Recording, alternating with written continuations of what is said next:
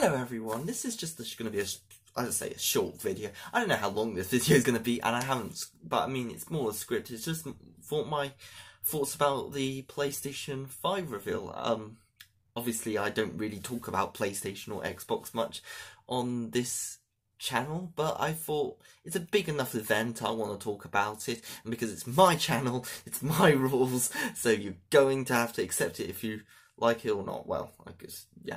But I want to just, it's not necessarily anything bad or good, it's just me wanting to talk about my impressions of it. Um, um, so, yeah, I have to be honest, I really like the look of the console. It's just, first thing I want to say, the console looks really cool.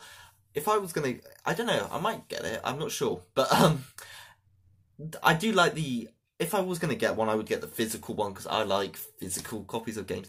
However, I'm already going. I'm going really quickly already with this speech.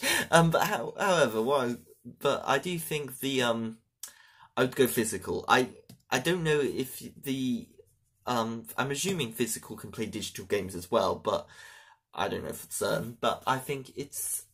I personally really, I like physical games. I, I and so I, digital I don't mind, and I get why people would want to go it, and especially it's very likely it's going to be cheaper than the um physical version, but we don't know for certain.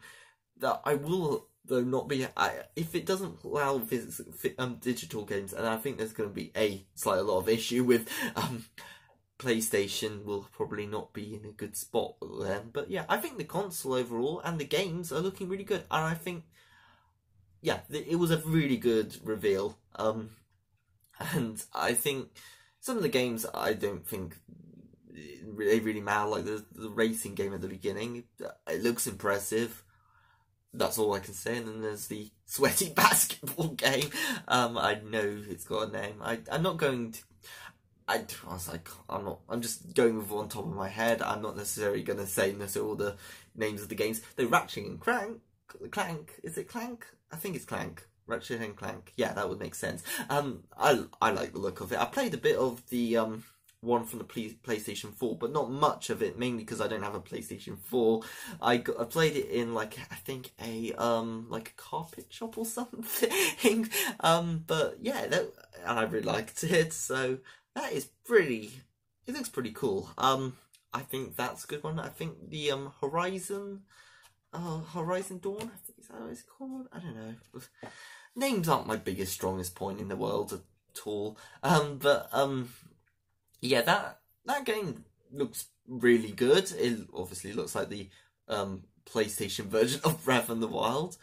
Is that a bad thing? Probably not, because well, because, well, let's be honest.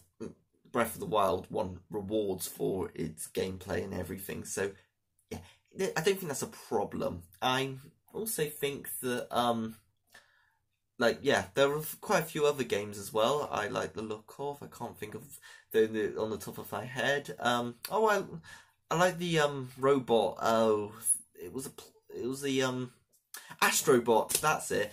I know there was one on the um goggles. Um that's why i was doing this. Um but um i say goggles i mean vr set but anyway yeah. Um I decided I I think that looks quite a lot of fun. I know it would be a shame if Astrobot doesn't you know get a another version, but I think yeah, let's be honest, it looks good.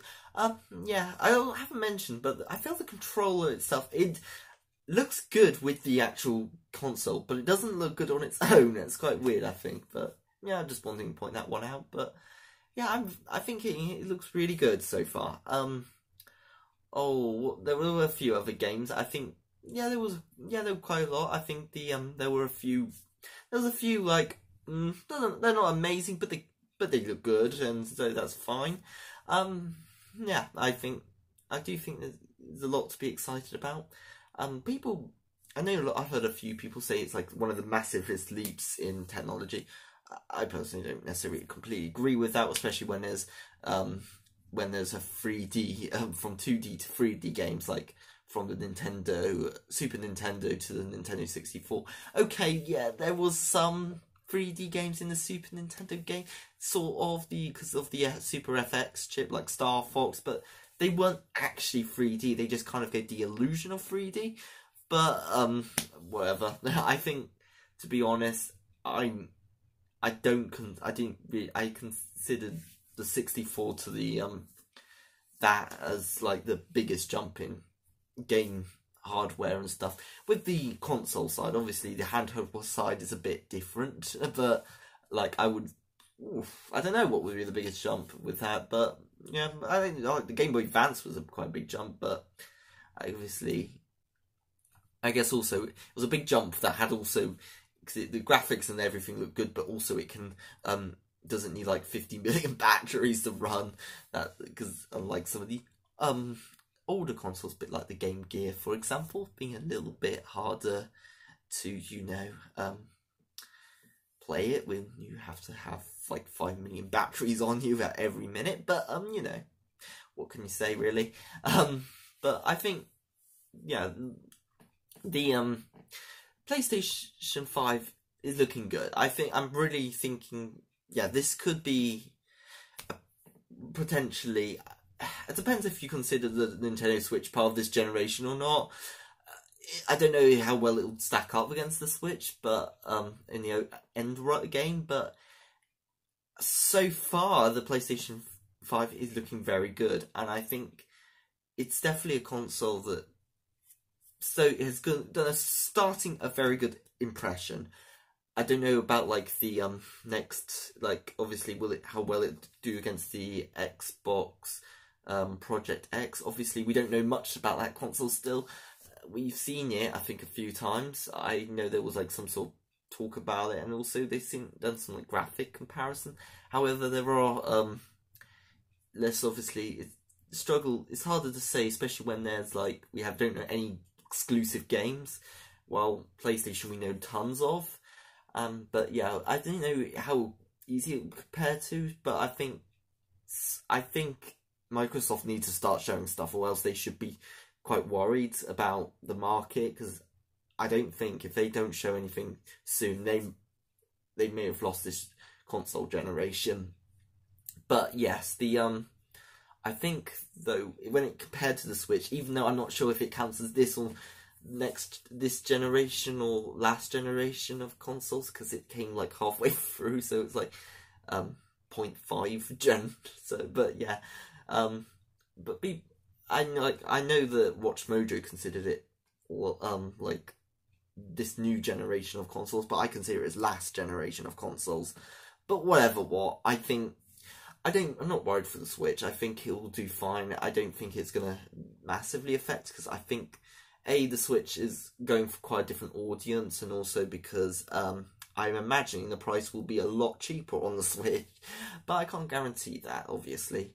Um, but I am thinking though the um, yeah, I do think though that that is one more fear that I do have. I think the um, PlayStation Five hasn't told us the price yet, and I think that is a slight concern. I don't think it's a massive one, but I think they need to say about a price sooner or later because they talked about all these amazing things, but we don't know what the price is going to be. So if they don't tell we like it could be 500 well five there's very likely it's going to be a 500 pound or i don't know in dollars five i think 500 dollars i think they've been people have been saying i don't know in pounds that would be but it'd be let's just say maybe 450 pounds but whatever what it's going to be expensive it may but i think i think if it goes too much more it might be overpriced and that is a slight concern, obviously, because, you know, stuff. And that's another reason why I think the Switch would be fine, because obviously the pricing will probably be very different with it. But, um, that's one concern I do have. Another one is that obviously they've been talking about all these other things. We don't know when the game, the console come out, but I think there have been rumours of shortages, and that could also not be very good. I think, like always, it's, they've done a good first impression of the um PlayStation 5, but I don't know. They need to tell us um like more about price and other things, and also when it will be releasing. Cause they've already said it's releasing this year. Um, at well, they say holiday or winter, so yeah, it's going to be likely around that point. But we don't know. It's, I think we'll, we'll see anyway. Um, I think if, I personally think if Sony can't, um, you know, they if they can't, um, like, if they're going to have too many shortages on consoles and stuff, I do think they should be pushing it back. But we'll see. They may not, and it may just been a rumor. I think I've also heard that the PlayStation Five also does backwards compatibility. Um, I'm I don't know if that's true. I'm, but I've heard from places that it is. So if that is the case, that is definitely a thing, and it means also the PlayStation Four is irrelevant at this point in time. Um, so yeah, it's good. These little things are good to know. Um, I think that's mostly it. I think most of the um it's most I think overall the PlayStation 5 has done a really good impression um, with all these new exciting games and also and returning franchises. So until Crash Bandicoot comes out or gets revealed, I guess uh, first thing you need to reveal it and and, and we don't know if it is going to come to the PlayStation 4 but um or 5 even but um, I'm going to get the name right wrong at some point. Anyway, we don't know if the PlayStation if Crash Bandicoot's coming out, but when it does, that will be the killer game in my opinion because I love Crash. I think also Ratchet and Clank will be probably is what I'm quite excited for. Oh, and Spider Man. That's another game that I've been thinking about. I'm quite. I really. I haven't played the original one, but I really want to. And yeah, considering this is going to have Miles um, Mor- Morales. Is that it? Because I know it's like Miles Morales. Is that it? I don't know. Oh, I always think of um, Tails' real name, but yeah, I'm very. I think it looks really. The game looks really good. I can't. Um, I, I, there's yeah. There's just enough. Yeah, the game looks good, and I think that is going to be a one of the better games on the PlayStation 5, especially because if it's anything like the one on the PlayStation 4. And actually, that PlayStation 4 one looks also really beautiful. So, you know, I think I'm not worried for the PlayStation 5 um, for now, and I think it's going to do really well. Will it be the best console of this generation? It's hard to tell, obviously, because even if it has a good um, first time and stuff, we don't we don't know obviously what's going to be happening in the future, and also we don't know. I, I obviously don't know the technical standpoints on like um how like how easy it's to make games for because obviously it's going to be more difficult than some other consoles like the Switch. It's probably quite easy in a lot of ways because it's not as powerful, but I don't know for certain. But we'll see. But yeah, what can we? What can I say? Really, I'm very excited. I'm quite really excited. I'm looking forward to seeing more about it. Um, but yeah, thank you for watching. I hope you enjoyed it.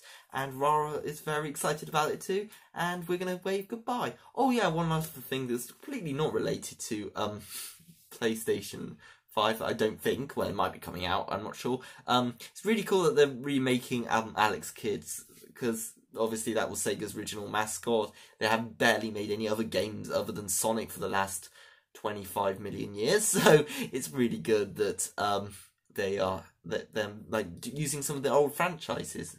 And I just say I know it's been a bit more sooner than 25 million years, but you know there have been a few other games as well that Sega's made, but not many. they need to make more of their older games, like because I think there are a lot. Some of them are really underappreciated, and they could be look really. They, can be really good on modern hardware. They're also Phantasy Star Online is it two or three? I'm not sure. But um, that game looks also really good, and and that, I know that's also on the Xbox. But yeah, I, but I think I think I don't think it's coming to PlayStation that game. But yeah, that is a, looking a really good game as well because I I played the uh, bit of the original one on the Dreamcast and yeah, I sadly couldn't get the full experience because of the not much internet. I know there is a way, but that's not the point. I haven't got internet on my Dreamcast because, I, and I know there are ways, but you know, I'm I don't at the moment. But I think it's quite looks really uh, cool, and I'm really glad they're remaking that franchise. I'm glad Sega are trying out some of their older franchises. Now, I really want them to do some of the um fewer more in is skill skill ones. Maybe maybe Ecco the Dolphin. That'd be quite cool. Maybe in 3D. That would really like that would be quite fun. Um, Oh yeah, um, but yeah, I could be talking about Sega as well for a while. But anyway, thank you for watching. Hope you enjoyed it. Um, there, I haven't got much else to say, so goodbye, everyone.